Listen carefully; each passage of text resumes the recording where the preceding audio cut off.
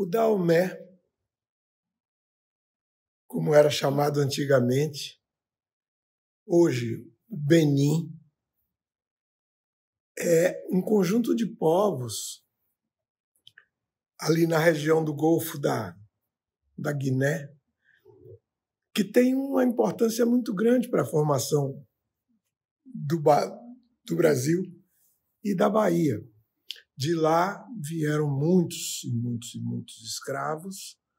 É, durante muito tempo ajudaram a formação econômica do Brasil e a formação cultural do Brasil. Depois, já durante ainda já no final da escravidão, tiveram os retornados muitos escravos que por várias razões conseguiram alforria, conseguiram é, independência econômica e tal, e voltaram para, para o, Benin, voltaram para Daomé, e lá estabeleceram uma cultura já mesclada entre aquilo que havia vindo do, do Benin para o Brasil e depois misturados aqui com, com as coisas que encontraram e criaram no Brasil. Voltaram para lá, estabeleceram lá uma civilização nova, com muitas influências brasileiras. É difícil falar da Casa do Benin sem falar da volta de Lina para a Bahia, desse segundo momento de Lina na Bahia. E de 1986 a 1990, praticamente. E foi um, um, uma história muito interessante, porque Lina não queria mais saber da Bahia. Depois do período do final dos anos 50, começo dos 60, eu comecei a trabalhar com Lina em 1977. Eu trabalhei 15 anos com ela. Ela dizia que a Bahia era uma gaveta fechada na vida dela. Não queria voltar, não queria saber. Lina tinha sido chamada antes, em 80, se não me falha a memória, para fazer uma proposta similar ao do Sesc Pompeia, ou seja, um grande centro de convívio popular no Forte São Pedro, em Salvador. Primeiro, ela tinha essa coisa um pouco dolorida do período em que ela tinha sido alijada do trabalho lá no União. E segundo, ela não quis fazer, conforme ela mesma afirmava, porque tinham deixado construir aquela bateria, aquele corredor de prédios na Vitória, no corredor da Vitória, lado do mar. E ela dizia o seguinte: o forte tinha que ter o mar ainda descortinado na frente, porque esse é o sentido histórico daquele forte belíssimo, estar lá naquele lugar. Foi um pouco estarrecedor, né? A gente mais ou menos parando já o trabalho no SESC Pompeia e ela não topar. Uma conjunção boa é, aconteceu porque Mário Kertes, na prefeitura, tendo com Roberto Pinho como secretário de projetos especiais, extraordinário de projetos especiais e chefe também da Casa Civil, é, começamos a, a, tramar a volta de Dona Lina. Posso dizer com bastante segurança que foi uma trama, assim, uma trama muito bem montada para conseguirmos levar a Lina de volta para a Bahia para fazer o trabalho que fez nesses anos e muito mais se tivesse tido mais condições e mais tempo. E a, e a trama foi que ela se recusava a ir à Bahia, se recusava a trabalhar, convidada várias vezes. Então o Roberto armou uma premiação, o prêmio 2 de julho, falou: vamos trazê-la para a Bahia para receber a comenda 2 de julho. Até aquele momento só tinha sido agraciado com essa comenda Dorival Caymmi. Ela não teve como escapar. Mário Kertes liga para ela, manda um convite formal, muito bonito, e marcamos a ida para a Bahia. Apareceu, por iniciativa da prefeitura, também, é, ideia do Roberto Pinho, a Casa do Benin. Tratava-se de recuperar um vínculo com aquele trecho do chifre da África, que inclusive aponta né, na direção da América, faz parte do cabedal cultural, do enorme acervo atuante, vivo, que temos e muito, muito manifesto, presente, é, acordado em, na Bahia.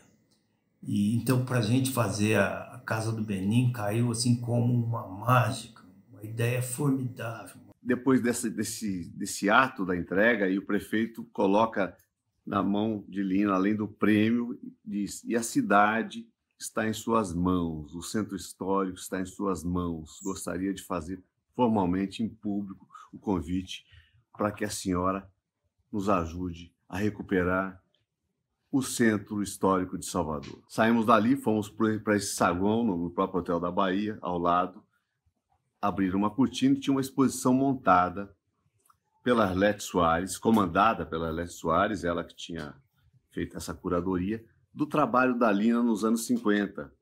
Então foi uma coisa incrível. Aí ela foi ver, meio rememorar e ver, estava Vivaldo Costa Lima, Antônio Risério, tinha Nemésio Salles, tinha é, o Ali Salomão. A Lina insistia que o importante é conjunto urbano e não obra isolada. Então, esse conjunto do Pelourinho deveria ser preservado, mas uma das questões fundamentais para a Lina era manter o quarteirão blocado, o quarteirão fechado, de tal maneira que as fachadas todas dos vários imóveis é, formam um corredor. Estavam mantendo, já reestabelecendo relações diretas da Bahia, da cidade de Salvador, com o, o Benin, o governo do Benin.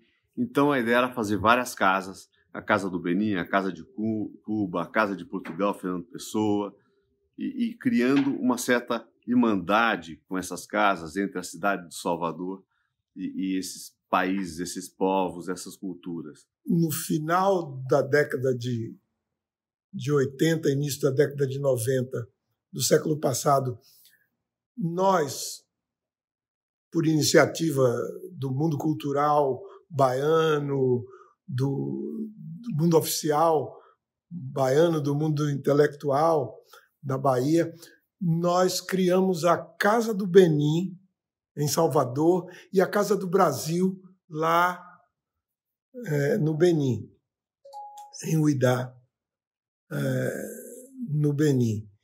E esses, essas duas casas têm sido polos de aprimoramento desse, dessa vida cultural é, intermediada entre Bahia, Benim, Benim, Bahia, Brasil. Então a Casa do Benin tem essa importância. Foi o primeiro projeto feito em pouquíssimo tempo. Eu tenho a impressão que foram seis meses no máximo entre obra e inauguração. E foi escolhida essa casa onde está hoje a Casa do Beni, na, embaixo, no, no, no, Pelourinho. Uma casa que tinha sido reformada alguns anos antes, tinha, tinha sido sofrido um incêndio. É a ponta do Pelourinho, a ponta, o lado mais baixo, onde o triângulo do Pelourinho se fecha. Né? É quase que o fecho mesmo, né? como lá em cima está a atual Casa Jorge Amado, etc. Quer dizer, numa casa que tem um vão pequeno, não é? um vão de, imagino que seis metros, não me lembro exatamente, mas botaram ainda uma coluna para dividir esse vão. Uma coisa absurda. E que demolir seria um trabalho muito, muito grande, seria um, um absurdo. Né? Naquele momento, entrar e demolir uma estrutura de concreto era capaz da casa cair inteira junto. Foi o primeiro desafio, trabalhar numa, num casarão antigo, muito bonito, uma presença fortíssima na paisagem do centro histórico, no Pelourinho. Essa ideia de quem fez a, a reforma anterior, estabelecia uma escada transversal no meio. Não estava executada, mas estava nos desenhos. No meio, quebrando o imóvel em dois lados, né? criando uma circulação até com uma certa lógica, dependendo de qual uso fosse ter. E a Lina inverteu e criou uma linha reta de escada, né? uma sequência única que a cada andar parava e descortinava um salão sempre inteiro de frente para aquelas janelas. E o vazio, exatamente, que aponta para o Pelourinho, um vazio grande que pegasse todos os andares e só uma passarela, um passeio, né, que acessava as várias janelas para que elas pudessem ser abertas e continuar funcionando. Dessa leitura do espaço, né, resultante desse espaço que estava lá é que nasce aquela escada que vai subindo e perpassando aquela parede. Nós descascamos o paredão de baixo para descobrir um pouco, um, um pouquinho que restava do muro de terra e tijolo e pedra, aquela mistura toda que está ali descascada no térreo da, da, casa do Benin. E aí, então foi uma experiência fantástica, uma experiência, foi o projeto, o grande projeto piloto desses quatro anos de, da segunda etapa de Lina na Bahia. E tinha esse terreno ao lado que daria para ocupar. Só tinha a ruína daquela casa ao lado, só a, só a fachada, não era nem ruína, só tinha a fachada e o quintal que não tinha nada. Não tinha nenhum coqueiro como tem lá hoje, nada. Os dois imóveis adjacentes também tinham sido incendiados. Acho que no mesmo da mesma vez ou das várias vezes que esses conjuntos pegaram fogo. Para lá foi então é, proposto que se fizesse a residência de um representante e a Lina propôs também, como sempre fazia, a ideia de instalar um, restaurante. Ela sempre disse, né, onde tem comes e bebes vai ter gente. E é uma maneira dessas relações culturais se intensificarem sem esse ranço erudito da palavra cultural, e sim como a verdadeira essência da cultura, que quer dizer como somos.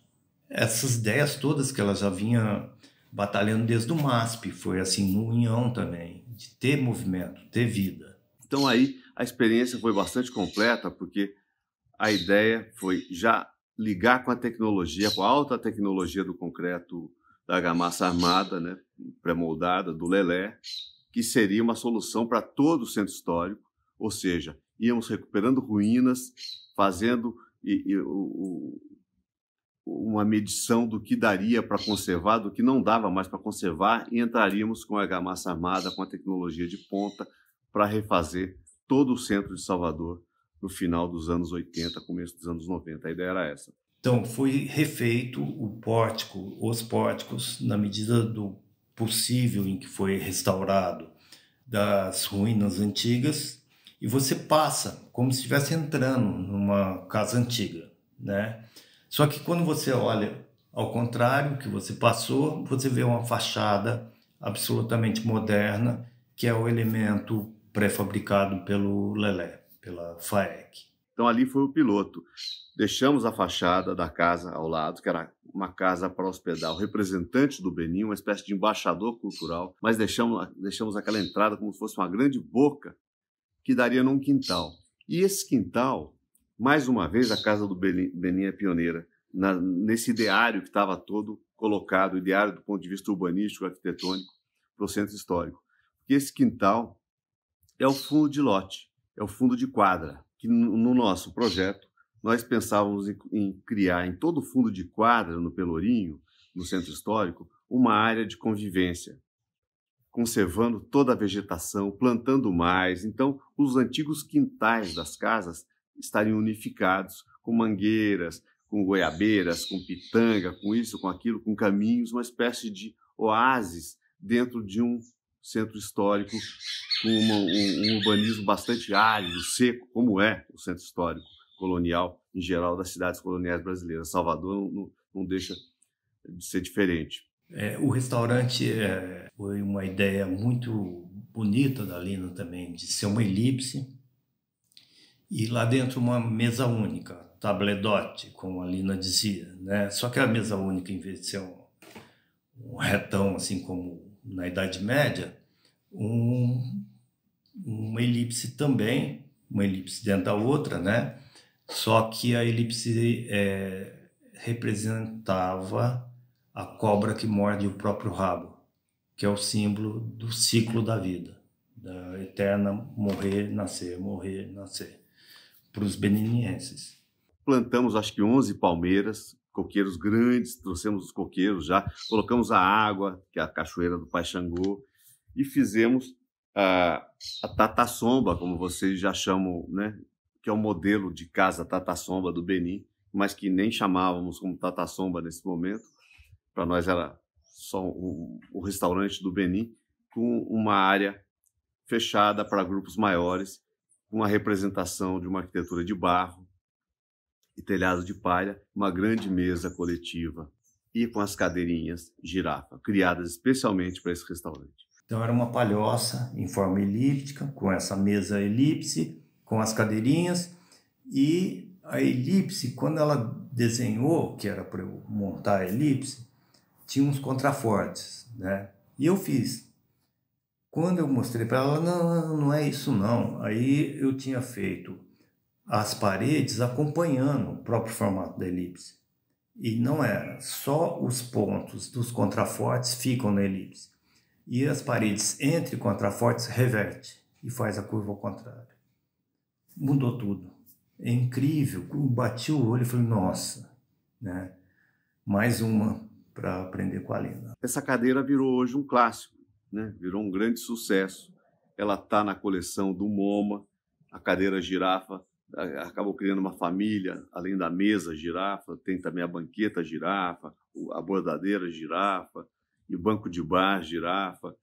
Isso a partir de uma ideia que, num certo momento, a Lina dizia que não dava certo, não ia dar certo, não ia dar certo, e a gente, com muitos protótipos, conseguiu chegar a ela. Sim, como tem no livro, né?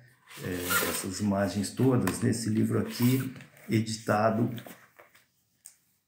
pelo Instituto Bard, é, logo depois que ela morreu, né? Foi a mesma equipe que trabalhava com ela, que se juntou, o Marcelo Ferraz, o André Weiner, eu, a Isa Grinspo, o Vitor Nozek, é a turma, a turma de trabalho da Lina. Então esse livro tem essas fotos que mostram esses desenhos todos, né? Foi um momento muito forte, muito rico, essa passagem é, de Lina pela Bahia, mas as condições eram todas dadas, né?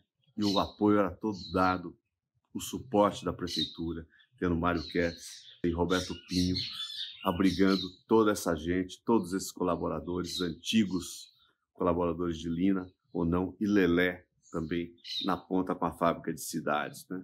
Foi outra lição né, para gente ver como a erudição da Lina né, é, fazia tomar decisões assim, como abdicar de um trabalho grande, talvez importante, em nome da sua convicção de que é, trabalhar com patrimônio tinha é, as suas razões científicas e que as coisas é, fazem sentido e esse sentido deve interferir é, profissionalmente, ou seja, a tua responsabilidade civil como arquiteto de é, contar para a sociedade certas coisas é, inerentes à ciência, estudar né, as questões de patrimônio e, consequentemente, a arquitetura possível. A Casa do Beni estava pronta, foi inaugurada, veio uma comitiva muito grande do Benin, com ministro de Cultura, prefeito de, de, de Cotonou, se não me engano, é, ministro de Relações Exteriores, enfim, uma comitiva grande, e grupos de, de, de música, dança, estudantes, pesquisadores que ficaram na casa no primeiro tempo, e essa gente vem para passar um tempo em Salvador e visitar alguns terreiros. Então foram encontros maravilhosos em volta da inauguração da Casa do Beni. Então, é, é, o tipo do projeto que vale a pena fazer, porque é um projeto com consequências fortes, que forma pessoas, forma gerações, educa, é, tudo que a gente gostaria que, que fosse uma arquitetura. Quer dizer, a arquitetura pública deveria servir sempre nesse sentido, deveria servir para abrigar, né, para ser recipiente para esse tipo de existência, esse tipo de conteúdo. E é uma, são duas casas. Lá eles cuidam da manutenção da Casa do Brasil. Aqui nós cuidamos da manutenção da Casa do Benin.